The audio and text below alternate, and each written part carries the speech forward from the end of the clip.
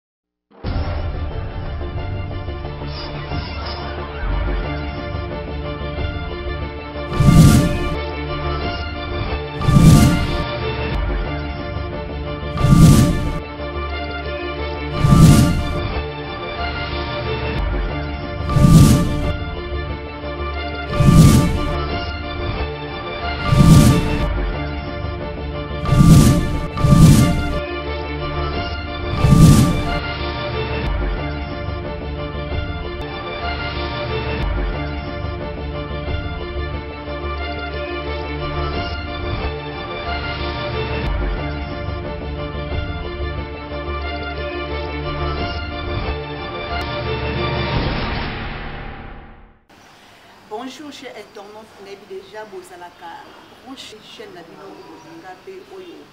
bo préféra toujours na émission na biso oyo nga simple servante eh, na nkombo ya Darka Sengo Mala mama qui change la figure du monde eh, nazalaka toujours esengo ya kopresentele bino yango lelo namemeli bino alanga nzembo oyo azosala fierité ya Congo oyo abengami na nkombo ya Papa José Zita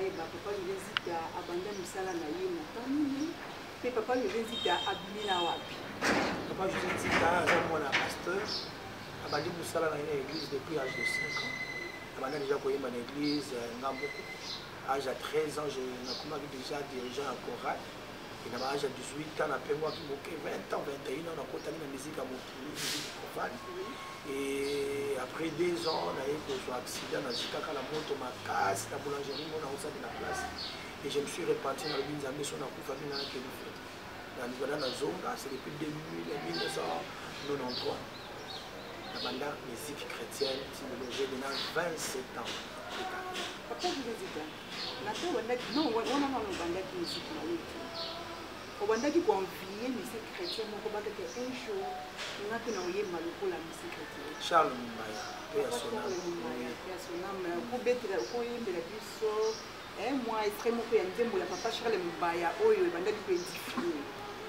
yesu yo mokolobaki yo nde nzela ya bomo ezali ya solo yo nzela ya bomo nzela ekomema biso baso na bokanani kolo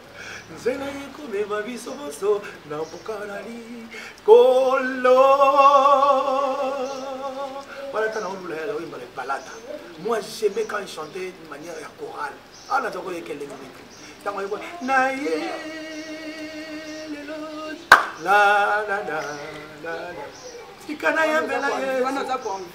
wana nde azati nakomi koyemba nakomi koyemba wana sikoyo tala banzembo nayembi wana deja moseka ebandi eza na ma ezokende deja kokende ezobima deja donc c'est papa qui m'a beaucoup inspiré façon na ye ya koyemba ndenge na ye ya composition surtout social ndenge na ye ya kozala familier aza kosangisa bato ya poto na ya kinshasa azalaki vraiment social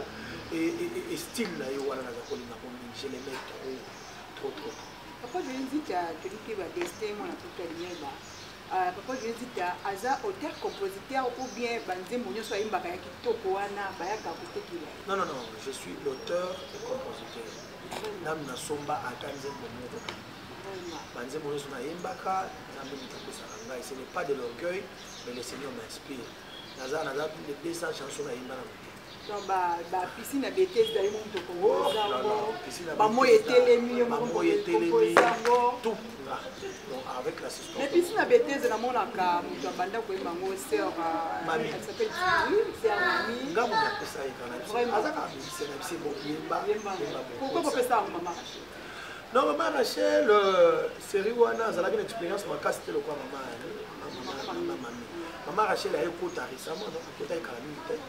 akotaki na ba 2012 2011 mama ani déjà mama mami déjà azalaka muyaka et puis na cadre ya hiérarchie en tout cas foka mokolo nde azwa yenda mpe na kasaki bon toki koyoka tobaonosi na bainternaute bareseau sociaux papa josé alosi na bomwai te papa josé akufi papa josé boye boye toyebi te basutuleli na yo wapi eh, jusqu'à kabonga miel kote ayo atelemi wana azobenda biso bilili elobi ntango amoni papa jose abi papa jose akomi fantome ole yango nde ezokamwisa ngai eloko mona kosenga mpenza mingi na bato ngai nazwi motu mabe te nzambe alimbisa bato nyonso oyo bakopisaki biloko wana ke nzambe alimbisa bango eh, nayebi ke eh, concepteur na yango asalaki yango na ndenge mabe te ndenge natunaki bango bato bayebisi nga ke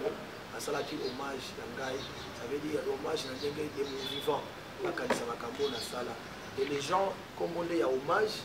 ya josé nzita nde ecomplika situation eh, nde esalaki ke bato bando publie ke nakufi tout ça mais lui n'avait pas cette idée alors deuxièmement bandeko mosusu batiaki na bafoto na internet kokoma mpe ya sonam adie l'artiste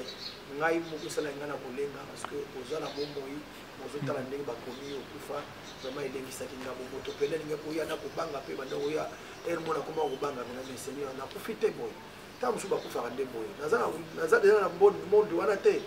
nabandi komibeta bambata je senti ke namoni bana nanga baza na bango tosona naosolola na bana nanga namoni mwasi na nga oyo nasimbi ye mpe aza na ye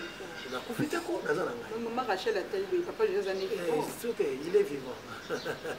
Papa José, pourquoi tout le monde dit vous aimez Congo, Congo, Congo nouveau obeti bahistoire ya, ya pays euh, eza révélation eza juste mpona kolamusa peuple na biso ya peuple ya congo koyeba ke baprésident bakambaka biso baza na baresponsabilité makasi maloba na bango balobaka pouvoir ya maloba le pouvoir de la parole oyebi tu ne peux pas engager la famille ndako na yo bana na yo na maloba moko oyo maîtrise malamu te soki otelemi libanda ozoyebisa bana bino bana na basi nyonso bokobalaka te bandumba yo ekozala ndoki te mai ndoki moko ya quartier na bino ayoki yango akangi yango epuis amemi bana na yo nyonso na monde ya molili okosantire ke mabala ayeki mabala na yo ozomona misala ekoma bana parce que yo moko olobaki yango le fait mobutu nga nazokondana ye mpena mingi te nde nazokisa bamobutiste je ne condamne vraiment pas mobutu mais mobutu akoya kozala encadré spirituellement makambo oyo asalaki ezalaki na badimension spirituelle bayebaki baconséquence na yango te e conséquence e draine mboka mobimba na kati na libulu mpe ekotisi biso na kati na prison pendant 32 ans na ye ya kokambala tola na prison econtinue ti esika bapapa joseph kabila bakoti na suka moto aye koboma yango eza président félix ye nde moto aye kokata alliance wana akati yango mpenza alobi cette fois-ci le congo à dieu mais papa josé il y a aussi les critiques bayebi papa josé euh, asinteresse mingi na ya président bango basala basala bamisi basala makambo na baintérêt donc euh, Ba critiques vraiment eza ebele. Bon, chacun de nous a sa manière de voir les choses. Mais ngai banda na botama na tikala koyoka discours ya bongo na stade te ke nzambe limbisa biso nzambe nakabi mboka na moko na yo osala kulu en tout cas bandeko na ngai banda na botama ti lelo nakende pembe na 50 ans na tikala koyoka bamakambo wana te osaidi eza biloko moko elekelaki biso oyo ememataki na inatendu ya bato soki nayembi na ngai mpe nayebisi ye merci mpo na makambo osali où est le mal soki oreconnaitre malamu moko boye moto moko asali tokosouffrir na yango pendant longtemps ezali na moto moko te ayaki kolongola biso na mpasi wana ye nzambe ainspire ye akoti tosambeli toleki yo mboka na mboka nzambe epuis ake kosala rencontre na bana israel azongisi contact na biso na bango bamakambo nyonso oyo ezali koboma biso azongisi yango anormal spirituellement parlant en tout cas mboka na biso eza lisusu ya kokangama te nzambe akomi kotala biso boye na liso na ya donc papa joseph toloba nzembo ya kongo nivo eza lokola euh, ya lisolo ya baegyptien na peuple israel siko fo biso topona moto akokotela en réalité mobutu asalaki mabe te kokotela africain parce que biso na israel na egypte toza na afrique israel aza mosika mais en réalité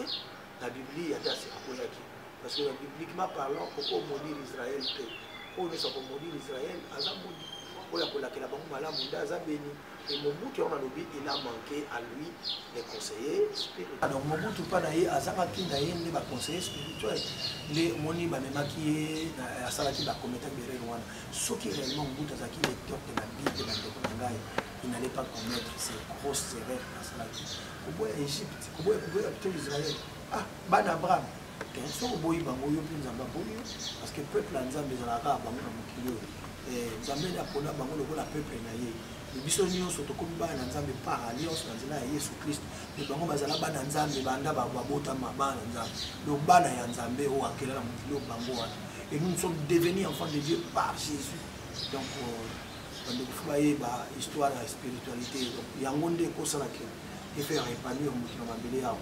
soki na niveau spirituel deja ozalaka bloqué okanisa te ke soki oluka mosala na repanir ozwa te bandomunoka na basolo ya mabe voilà donc tu dois d'abord olokola makambo spirituel yango faci asali ya bomi baalliance spirituel ça veut dire congo ekomi sikoyo efungwami donc nzambe akosala na congo preuve aneke aye déjà tala ndenge asali justice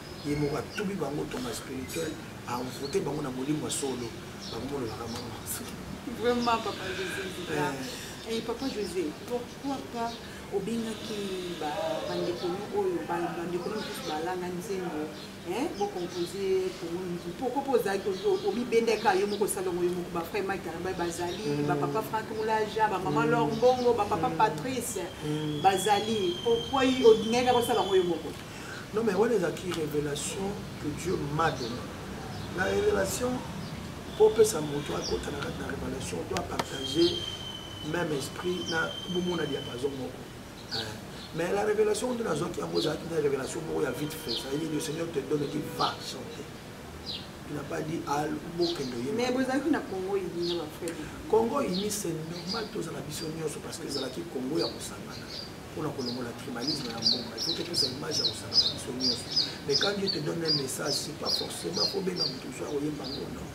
nzambe akopesa message okeyemba yo moko sa o associe moto mais soki alobi bosangana bino nyonso na kongo yeye ça c'est pour montrer l'image de l'unité na kati ya mboka na biso ça ça valait la peine que tozala biso nyonso mpona kotombola mpe mboka na biso kolongola tribalisme mais message oyo ezali message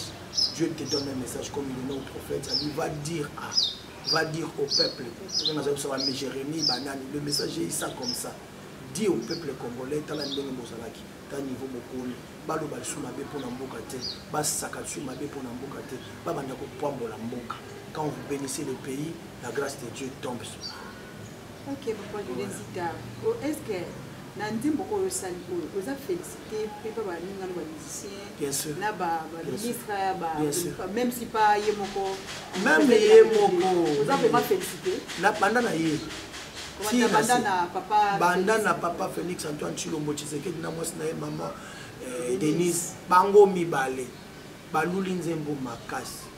epuis bapamboli nga makasi babi na nzambe apambola yo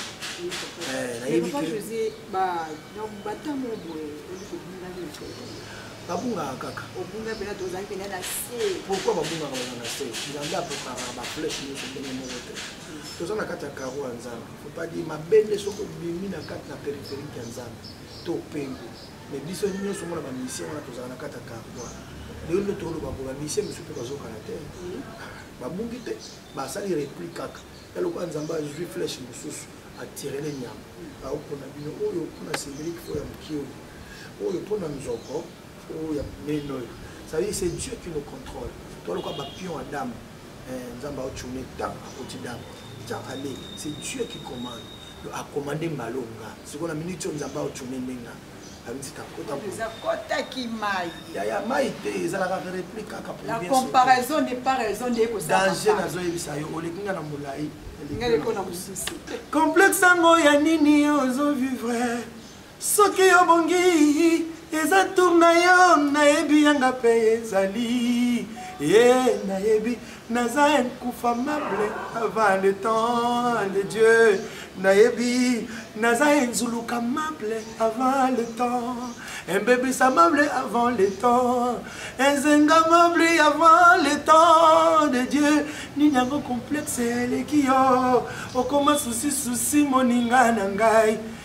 ngai nasepelaka oyo naza nango lolenge asala ngai ebonga na ngai oleki ngai na molai ngai naleki yo na mokuse oleki ngai na pembe ngai naleki yo na mwindo oleki ngai na monene ngai naleki yo na moke oleki ngai na français ngai naleki yo na lingala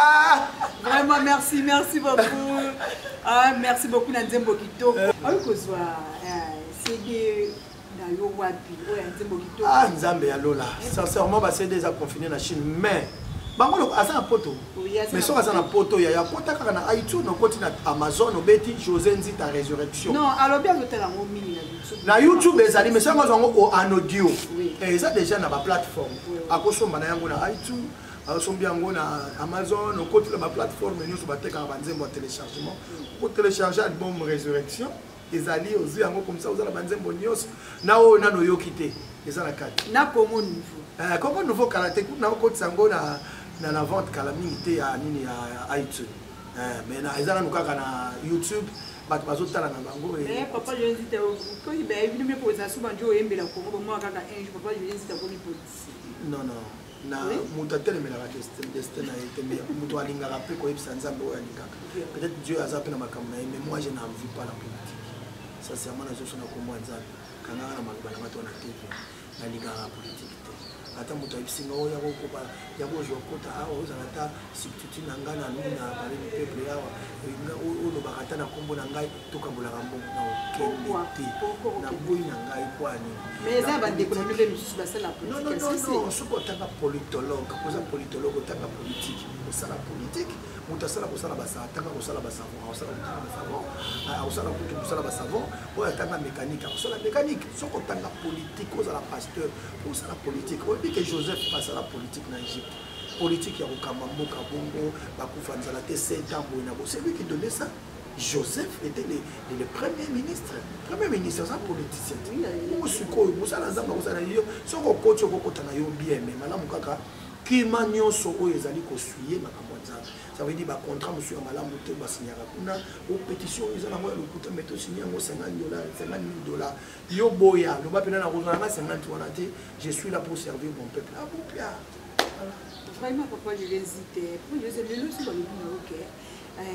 papa joesita tosala fete moko ou bien na frère fali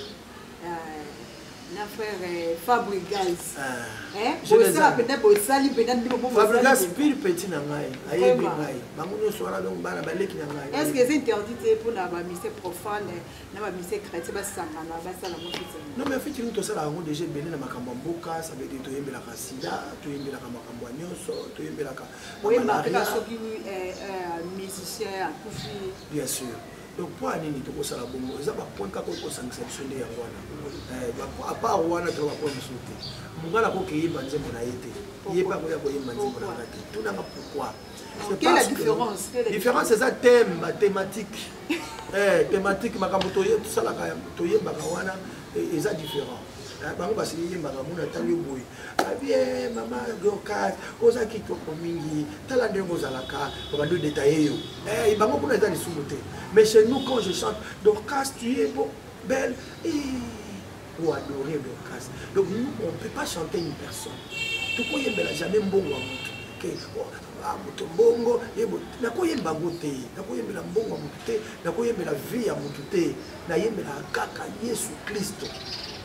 okopa eloko yango nde différence na biso bango bakozala biso bakofanda bo dorcas oza na mwa nini nayo so na mbujima yo otekaka mwa diama na yo mama dorcas badiama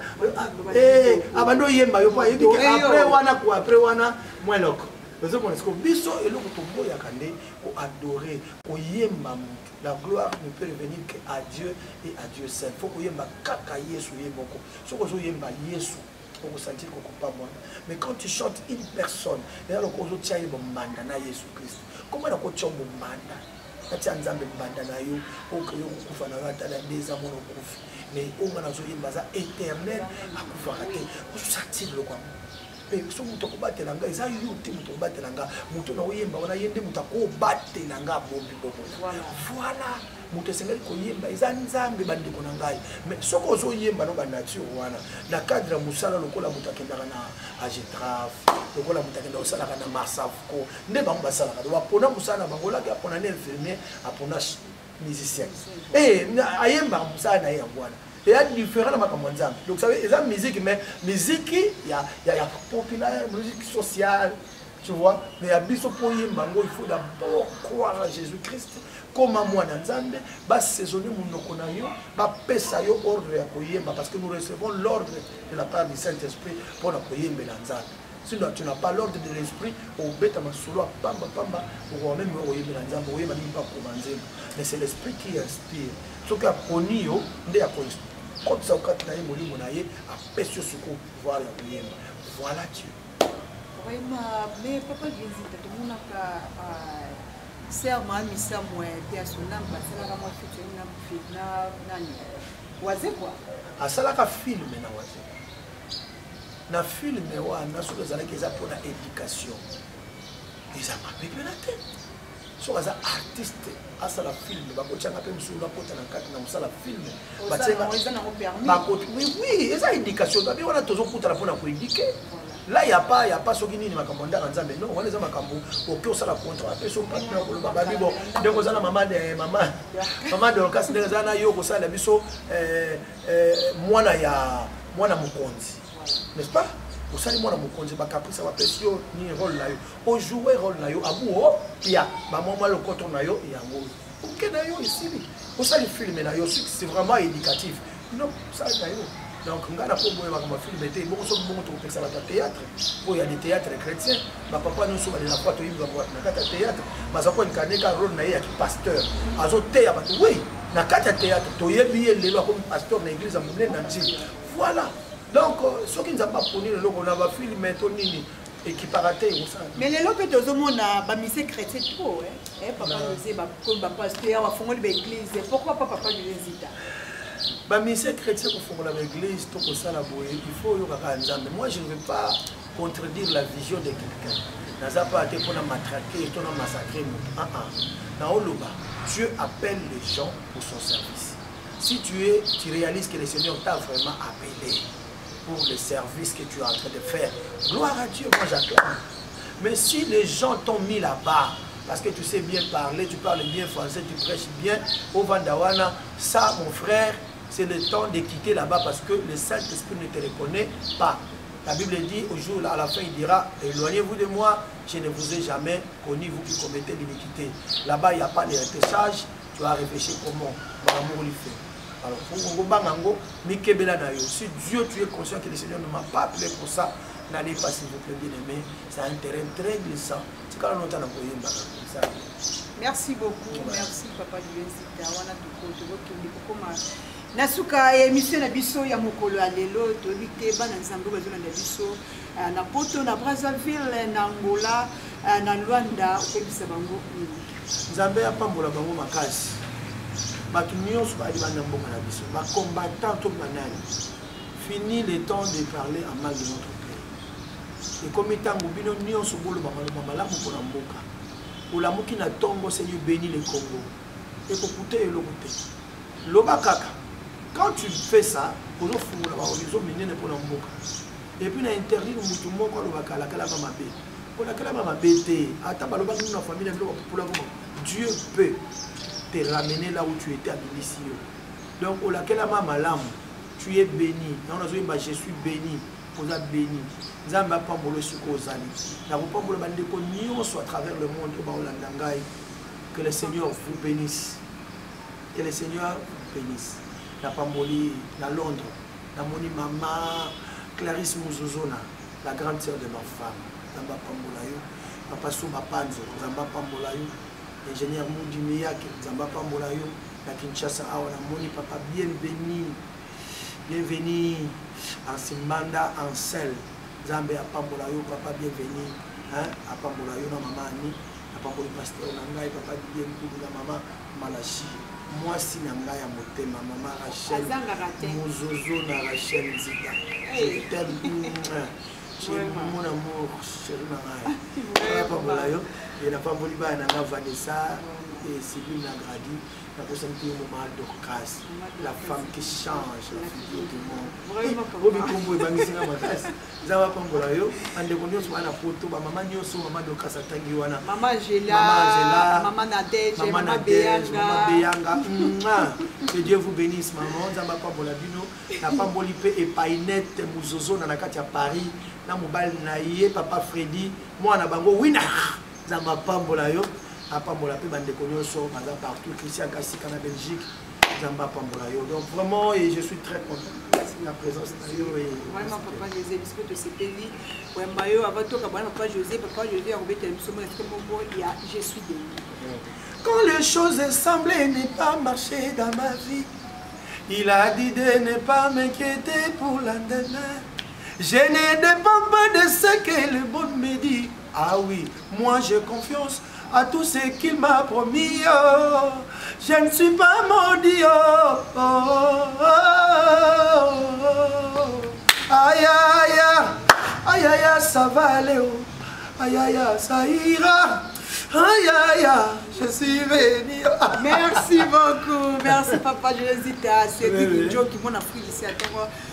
olandi jésus ozala modi te oza béni dans le nom de jésus christ euh, awa nde esika tosukisi émission na biso ya mokolo ya lelo euh, bana poto bana lwanda bana brazzaville kin malebo bana kine topesi bino mbote partout dans le monde